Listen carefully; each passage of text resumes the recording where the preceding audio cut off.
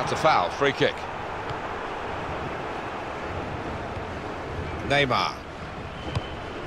Lacazette. Griezmann. Assistant looking very confident about that one. He flagged, referee gave the offside.